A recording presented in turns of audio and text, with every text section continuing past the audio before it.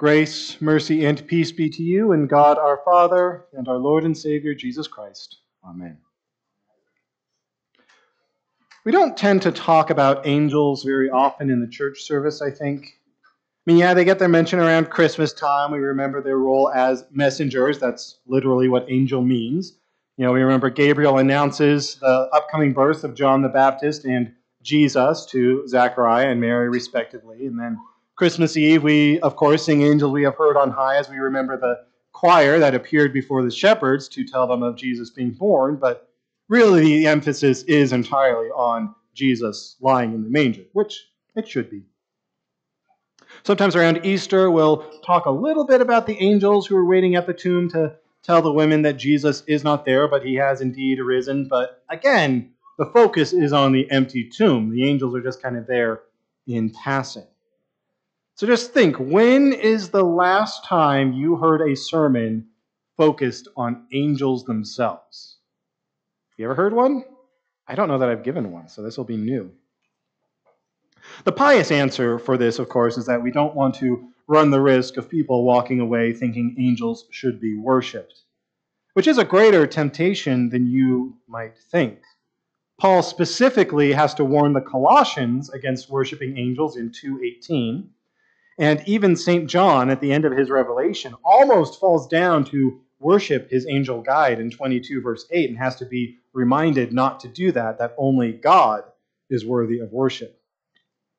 Even today, and I don't know if this is just me because the algorithm is really bizarre when it comes to my case, but I get weird emails constantly with articles on how to properly pray to the angels to get what I want because uh, the New Age trend portrays angels as some kind of like lesser God that can be a pathway to get whatever you want as something to be worshiped in some way, shape, or form. It's just something about having, you know, they're a spiritual being, they dwell in the heavens, and yet they are created rather than eternal like God. And I think that makes them just a little bit more approachable, for lack of a better term, as an object of worship. It's a more palatable being to offer our prayers to and requests than the infinite and mysterious and eternal God with a capital G. And so I've heard multiple theologians hypothesize the reason the Bible really doesn't give us very many details about angels and demons themselves, fallen angels, is a ward against this natural human curiosity about them, lest we dig too deeply into the lore and thus miss the forest for the trees on the true focus of the Scriptures, which is God's enduring and steadfast love for creation shown through that redemptive work of Jesus Christ. The less pious answer for why we don't talk about angels very much, I think, is ironically, when we're not accidentally worshiping them, we don't really take them very seriously. You know, the same way that pop culture has kind of relegated to the devil to a cartoonish man in a red suit to the point where we have to be reminded he's a legitimate threat. So too have angels kind of just become the cute, innocent precious moments figurines in our artwork. They show up as characters in TV programs like Supernatural or Lucifer when the showrunners need to invoke heaven into the plot, but again, they need a more palatable in between presence rather than actually depicting God. And so, while we may intellectually understand angels are real beings within God's created order, on an emotional level, this kind of cultural saturation makes us a little embarrassed to admit that we truly believe they're out there, as though believing in angels is on some level the same as believing in vampires and werewolves. So it's good that today we get to observe the feast of St. Michael and all angels to remind ourselves of this deeper level of reality that so often gets pushed aside in favor of the material realm, which we personally can see and taste and touch. And so, central to today is our reading from the book of Revelation, itself a look at those deeper levels of reality. That is how the book got its title, that, that which is being revealed as the curtain is lifted, is the spiritual realm, what's happening behind the scenes of the material world in which we live. And so, while it's most popularly known for its predictions about the final day of judgment, the central theme of it really is just the encouragement for Christians of knowing what is going on in the heaven amongst everything we're going through right now. So during you know all, all the horrors we see in the end times as predicted in the book, the plagues, the persecutions, the unleashing of the horsemen, wars and rumors of wars, and so on. Just when it always seems the darkest, the vision always returns to the heavens, seeing Jesus seated on his throne, ruling triumphant, giving us the assurance that throughout all hardships, even the non apocalyptic ones, our Lord's victory remains assured. For we are not materialists. We know there is that unseen realm, and Paul warns us that is where the real battles are taking place. Our true existential threats are not climate change or the wrong person getting into the White House or the looming danger of World War III, but sin, death, and the devil. Paul tells us we do not wrestle against flesh and blood, but against the rulers, against the authorities, against the cosmic powers over this present darkness, against the spiritual forces of evil in the heavenly places. So he writes in Ephesians. That's an interesting turn of phrase at the end. How can there be spiritual forces of evil in the heavenly places? That's not where we think we would find it.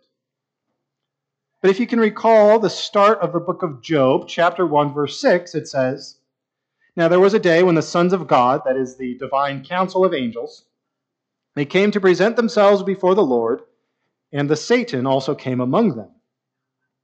And from there, you know, Satan begins his accusations against Job, and the, the set stage is set for the rest of the book. But it would seem that Satan had a seat waiting for him with the council. And you'll notice I said the Satan, not Satan, because Satan itself is actually a title. It's not a name. It translates to the accuser.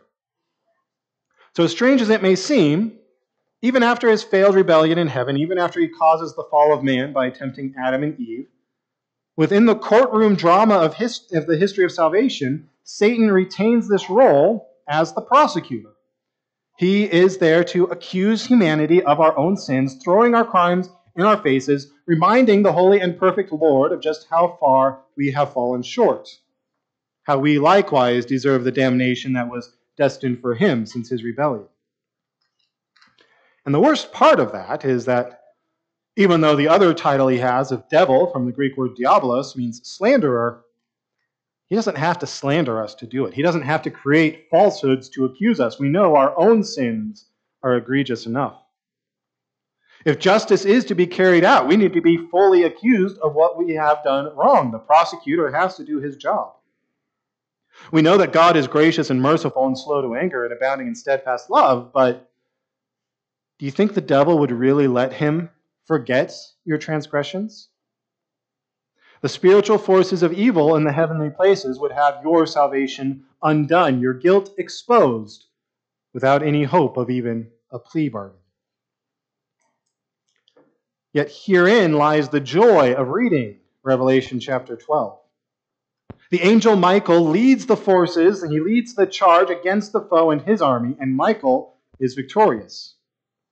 Not only that, but there, Satan loses his seat as the prosecutor. By the authority of Christ and his atonement won for us by his death and resurrection, Satan and his minions who accuse us day and night before our God are thrown down to the earth, falling like lightning, as Jesus said in today's gospel reading.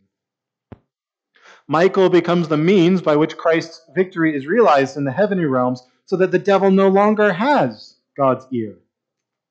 No more can he remind God of our sins after we have been washed clean in the blood of the Lamb. Therefore, there is great rejoicing in heaven as all evil is removed from that holy place in preparation for the final day of judgment when Satan is locked away forever, as shown in chapter 20. And it's interesting to me that Michael is the one chosen for this great and holy task. You know, we would assume Jesus should be the one to cast Satan out of heaven, after all. We do have a Christocentric hermeneutic. We're always looking to Christ as the source of our salvation. We always speak about how his death on the cross is what freed us from sin, Satan, and death, and it just feels like he should be the one showing Satan the door. Even here, we are told Michael conquers him by the blood of the Lamb. So, why does the great honor of kicking Satan out fall to the archangel rather than the Son of God? Now, this is conjecture on my part, I think, but I think it's to remind us of the hierarchy at play here. Because as we struggle against our own sins and temptations in daily life, as we behold Satan's campaign against the church in the world, and as we are emotionally shaped by the less than great theology existing in pop culture, it's easy to fall into the trap of dualism, of thinking that Satan is this dark god on equal footing with the Lord, just you know, evil, and there's still a chance he might win in the end because the scales are evenly balanced. But Revelation 12 reminds us that Satan is a created being. He and his angels are fallen angels. They're no match for the Most High. They're down here. So Jesus, way up here, he most certainly could kick him out of heaven without any struggle. But that would be overkill. Michael, the angel, the servant of the Lord, empowered by the blood of Christ, is more than enough to overcome the devil and cast him out. There simply is no competition at all. Our Lord's ultimate victory is assured. Satan is undone. Which brings us to the final portion of today's reading. Against the joy in heaven remains the woe here on earth. For though Satan has been cast out and no longer accuses us in the Father's presence, though the Father now sees the Son's justification when he beholds us as we have been washed clean in his sacraments, it still says, Woe to you, O earth and sea, for the devil has come down to you in great wrath because he knows his time is short. The final judgment is yet to come, and until that time, Satan's little season is here.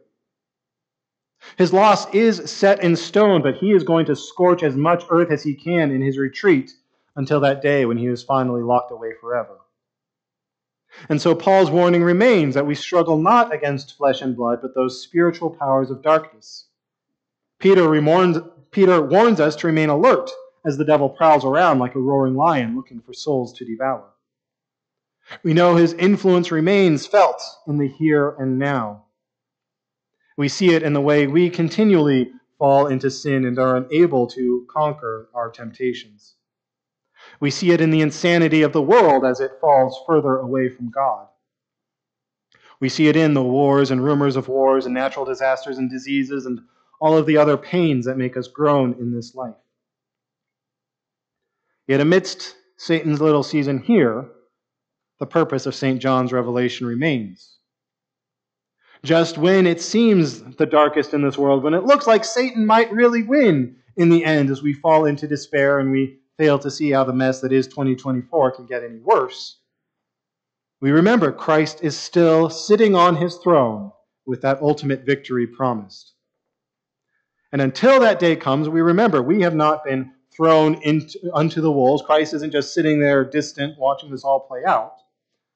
But against the demonic influences of this world, our Lord has his own mightier army in the heavenly host, the Sabaoth. Those angels whom he sends forth to defend us against those spiritual assaults of the fallen angels, who join us even now in the divine service, which is the place where heaven and earth meet, to assist us even in praising our Lord and Savior. So today we remember to give thanks to God that He has provided these spiritual guardians for us, that He has empowered His armies to most definitely conquer the great foe. And we join with the angels and the archangels as we give thanks to our Lord for all He has done for us, as we join together in that heavenly hymn of praise, as we prepare to receive the foretaste of the feast to come, as that very empowering blood of the Lamb comes to forgive our sins and strengthen our faith in the sacrament of the altar. So may the peace of God, which surpasses all understanding, keep your hearts and minds in Christ Jesus until the life everlasting.